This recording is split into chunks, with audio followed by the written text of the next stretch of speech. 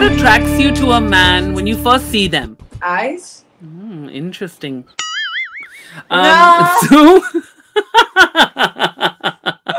I so can do that it's too. really hard to get this out of you because you're just like eyes खाना बनाना चाहिए तो मतलब बहुत मतलब खूबसूरत शेफ चाहिए पूनम को अगर कोई पूनम के लिए कोई खूबसूरत शेफ है जो पैम्पर से हैम्पर करना चाहेगा तो आप प्लीज़ मेरे मेरे को बताओ मैं रिश्ते करवा दूँगा से?